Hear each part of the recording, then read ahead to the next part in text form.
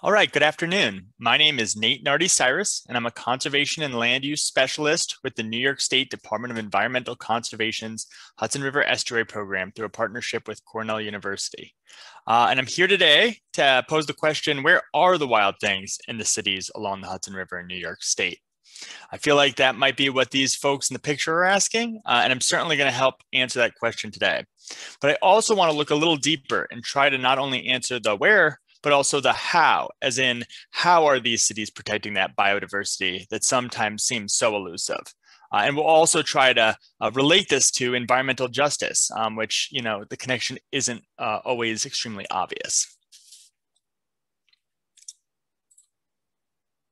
For those of you who are unfamiliar, the Hudson River Estuary Program is a uniquely non-regulatory program of the New York State Department of Environmental Conservation, established to help people to enjoy, protect, and revitalize the Hudson River and its valley. So our program works throughout the 10 counties bordering the tidal Hudson from Upper New York Harbor to the Federal Dam in Troy to achieve this goal. Uh, and within the estuary program, our conservation and land use team works with municipalities uh, and our regional conservation partners to incorporate important biodiversity uh, into local land use planning and decision making. Uh, I'd also really like to let everyone know that we just released our 2020 State of the Hudson report, uh, and would encourage you all to check that out. That's available at our estuary program DEC webpage. Okay, here's the outline for today's presentation. I'm going to start off with an introduction to the many small cities that are found along the Hudson River, uh, followed by a look at some of the wilder places within these urban areas. Uh, and finally, we can look at some examples of how these cities are protecting these areas using their municipal home rule authority. Okay, so here you can see a map of the Hudson River estuary and its associated watershed uh, for most of the watershed is in, within New York State, which provides a tremendous opportunity for coordinated management and monitoring within this landscape. Um, and I want to share one of the most interesting statistics describing the estuary watershed, um, which comes from the DEC Hudson River Estuary Program and Cornell University's wildlife and habitat co conservation framework for the region. Um, so with just 13.5% uh, of the state's land area, this watershed supports nearly 85% of its animal diversity. Uh, and this is likely due to the diversity of landforms, you know, with low river uh, uh valleys characteristic of the mid-Atlantic region um, to the high uh, peaks that are uh, of the adjacent Catskill Mountains, and then everything in between. Uh, and that makes conservation, even in urban areas, a necessary part of maintaining biodiversity at both state and regional scales. So here you can see all of the cities along the estuary. Uh, while New York City and Yonkers in the south are, are really massive, uh, the rest of the cities are small to mid-sized, um, with significant natural areas, including uh, uh, significant portions of Hudson River shoreline. So I'm going to be showcasing four of these cities in the presentation, starting with the city of Peekskill, which is adjacent to the brackish part of the Hudson River estuary. Um, Poughkeepsie is at the extreme limit of the salt front um, with a small amount of salinity only during the driest months, uh, while Kingston is along the regularly freshwater portion of the Hudson. Uh, and Rensselaer, across the river from Albany, uh, is also situated on a freshwater tidal section of the Hudson River. Okay, so where are the wild things? Um, this is a view of the city of Poughkeepsie. So we're looking toward the city now, uh, and it shows some typical characteristics of most Hudson River cities. Um, we have here an extensive urban canopy that's interspersed with pockets of dense development and impervious surface. Um, and there's the Hudson River with some natural shoreline, um, but a majority of that shoreline is uh, is actually hardened um, through parks or or um, uh, in the case of the Hudson River, we have two active rail lines that run adjacent to the river on both sides, um, and this separates the shoreline from upland areas in many places. Um, but there still are plenty of wild places, uh, so I want to dig a little deeper. Okay, so here's the city of Peekskill, and this is again along the lower portion of the estuary. Uh, in 2018, the Volunteer Conservation Advisory Council asked the estuary program to assemble a report to document known important habitats and species of conservation concern in the city. Uh, and here you can see one of six maps that was included in that report. Uh, so, but this one um, describes the most prominent known biodiversity resources in the city. Um, can see the large forested area to the south was identified in a, another local biodiversity plan as a conservation priority, uh, as it's nearly 2,500 acres and home to some rare vernal pool obligate amphibians, including um, rare marbled salamanders. Um, so it's a pretty interesting feature there. Uh, this forest is also just within a few miles of the globally significant forest of the Hudson Highlands. Um, in the north, the tidal mouth of Annsville Creek is home to spawning river herring habitat um, and is a migration route for uh, American eel. Um, the tidal mouth is also home to rare brackish intertidal mudflats uh, identified by the New York Natural Heritage Program, and that's what the arrow is pointing to. Uh, the brown and green hatching uh, that are near that indicate important habitat for rare species modeled by New York Natural Heritage Program um, using their database of rare species occurrences. So you can see the intertidal mudflats are particularly important for the state threatened spongy arrowhead. Um, this small annual plant is particularly threatened by disturbances in and adjacent to their intertidal habitat. So, you know, land use planning that is happening in, in adjacent scale is really critical to this population's persistence at the site. Okay, moving up the river, the city of Poughkeepsie recently completed a comprehensive natural resources inventory, um, which included a detailed habitat map produced from biologists from Hudsonia. Uh, and you can see here that this is a um, more detailed mapping effort that documented small urban habitats. Uh, so that included things like waste ground, exposed ledges, um, what Hudsonia describes as cultural areas, so you know golf courses and, and lawn areas, um, but indeed there are also some wilder places too. So the Vassar Ecological Preserve uh, is in the southeast corner of the city and contains the municipality's largest concentration of wetlands, upland meadow, and forest habitats. Another really important uh, resource in Poughkeepsie is the Fallkill Creek. Um, so this small Hudson River tributary is used by migratory American eel uh, and has been the subject of the estuary program citizen science efforts to monitor those eels since 2008. Um, so this years of data collected by both high school students and college students uh, has not only helped local officials understand the value of a largely channelized urban waterway, um, but it has also helped local residents many of which are from historically underserved communities, to develop a relationship with their local biodiversity. Um, and it's just plain fun getting in the water and uh, in early spring. Okay, so the upper estuary is really substantially different from the areas I've discussed thus far. And here the river uh, was historically shallow and wide with many islands and back channels uh, that have since been filled with dredge spoil. Uh, in this part of the estuary, the city of Rensselaer is also creating a natural resources inventory and is currently working with our program, Hudsonia, and Dr. David Hunt to finalize their detailed habitat uh, and biodiversity maps. Um, so the city of Rensselaer again is across the Hudson from Albany.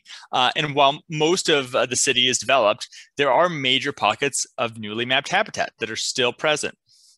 So you can see this large forested area in the northern part of the city, um, which includes nearly a mile of Hudson River intertidal shoreline and associated floodplain forest. Um, really spectacular.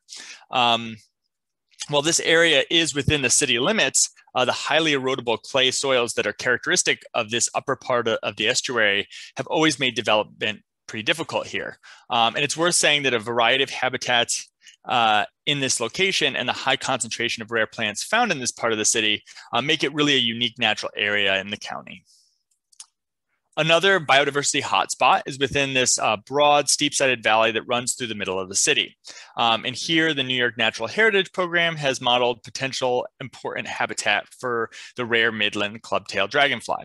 So this insect's larvae are sensitive to alterations to stream habitat. Um, but in this case, uh, that potential habitat is buffered by 70 acres of adjacent municipal parkland, shown here. Okay, so I want to wrap up this presentation with a couple of examples of some Hudson River cities who identified important natural areas and then went on to use their municipal home rule authority to protect the biodiversity that they found there. Before I go into that, I first want to show a, a, simple planning framework that we always encourage communities that we work with to follow. Um, first, you have to know what you have by assembling regional and local data and publishing a municipal natural resources inventory. And we've seen a couple examples of this already. Um, uh, next, we want communities to prioritize areas and plan next steps using that natural resources inventory as a foundation. Right? And finally, these plans, um, um, using these plans, uh, we hope that they protect and manage priority areas. Uh, and they can do that either through local legislation, uh, project review, or directly through land conservation. Okay, let's start with our friends uh, in the city of Poughkeepsie, right? They started with a natural resources inventory, which included that detailed habitat map uh, that I was sharing earlier. Uh, in addition to that habitat map, uh, the city also included 26 other maps that included resources such as street trees, flood prone areas, impervious surfaces, and that goes on and on. Um, soon after, they used their natural resources inventory to draft a local law that would protect those resources during their planning board review process. Um, and, and, in a sense, this was their planning process. Uh, as they articulated, the draft law had a goal of preserving and improving the quality of the city's environment for present and future present uh, generations, rather. Um, and then finally, in 2019, the city's Common Council um, passed that law. Um, and I want to dig into that just a little bit before I move on, because I think that's really important. Okay, bear with me on the legal language here. I will spare you the rest of this law, but the critical part is highlighted right here. Um, the planning board and the city planner shall ensure that proper protections of natural resources identified in their natural resources inventory are incorporated into the design of projects and mitigate impacts on those resources. So this law really gives the city the leverage that they need um, to have their project applicants um, submit a conservation analysis, first of all, uh, using that natural resources inventory, and then also to adjust those projects uh, to mitigate damage to natural resources. Uh, and this is a little abstract right now, so let's look at an example of it in practice. Um, the city worked with Vassar College to set up an ArcGIS online web mapper to increase the accessibility of natural resources inventory data for project applicants who need to complete an analysis. Um, and I want to focus in on this area here. Um, this is the only natural floodplain left on the portion of the Fallkill that runs through the city. So as I said before, the rest of the stream has been fully channelized. Um, the natural resources inventory specifically calls out the protection of this area as an environmental justice issue, um, since downstream reaches run through almost exclusively low income areas of the city. Um, and protection of this area might be the city's last chance to save flood storage capacity that could mitigate uh, risk to downstream low income residents. Um, and as luck may have it, this past year, a developer actually proposed a new project that would encroach on this floodplain, which is not significantly protected by really any other form of local regulation. Uh, the city is now working with the developers to redesign that project to greatly minimize the impact to those floodplains.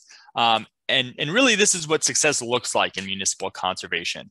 Um, well executed inventory and planning that results in these kind of meaningful protections of priority natural areas. Okay, I want to end with a look at the city of Kingston. Uh, first, they created a natural resources inventory that included a, Hudsonia habitat map, as well as other natural resources data, um, similar to what was included in Poughkeepsie. Um, they then used the map to create indices of parcels that intersect with the data mapped in the inventory. So when a municipal uh, official wants to know which parcels contribute, say, to their urban forest, they can get a list of those. Um, this project also resulted in an overlay analysis to identify conservation hotspots in the community. You can see those dark red areas are, are areas of intersecting resources. Um, both of these efforts ultimately served as the foundation for the city's open space plan, which set the stage for a series of land protection wins in the city. Um, and I want to talk about those right now. Uh, this map is a terrific visualization of Kingston's open space plan. Uh, you can see there's a lot of goals articulated here, but I'm going to really focus in on land protection. So this year, Kingston Land Trust and Northeast Caves Conservancy protected 14 acres of forest in this Rondout Uplands priority area. So prior Hudsonia surveys had identified the cliffs and caves on these parcels as important habitat for rare bat species and the regionally rare plant purple cliffbrake. Um, in addition, Scenic Hudson, uh, which is a, a local land trust, purchased 500 acres of abandoned quarry located in the Hudson Uplands priority area. Um, and while this land is heavily denuded, uh, as it was an abandoned quarry, um, the property is largely forested now, and the newly naturalized shoreline um, buffers some globally rare freshwater tidal wetlands from some negative upslope impacts. Okay, so the neighborhood parks priority area was not designated to provide any protection to wild places. Um, but I do want to talk about it because open space plans are this kind of natural intersection between environmental justice and biodiversity conservation.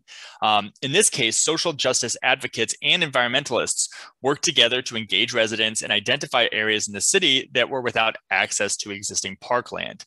Um, this data was then used to identify this parks priority area, uh, where the plan specified that new parks should benefit the historically underserved Midtown district of the city. Um, well, in 2019, that dream was actually realized when a group of local conservation partners acquired a lot in that section of the city. Um, on this small parcel, ground penetrating radar had confirmed a suspicion that this was, in fact, a mass burial site for enslaved Africans since the 1600s. Um, so, this kind of discovery galvanized a coalition of community groups along with support from the mayor um, who worked with local land trusts and, and ultimately this land was protected and you can see here part of a design proposal for a new urban park that honors those that were unceremoniously buried there hundreds of years earlier. All, amazing conservation wins. Um, just can't say anything more.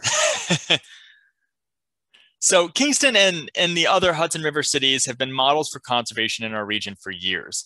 Um, all of these exciting new projects uh, and strengthened protections for natural resources and biodiversity prove their commitment to the environment. Uh, and, and more and more cities are working to support diverse natural and human communities, um, both of which are really necessary for their communities to thrive. Okay, thank you for listening to my presentation. Uh, there should be some time for a few questions uh, and I'll, I'll stay on the line here.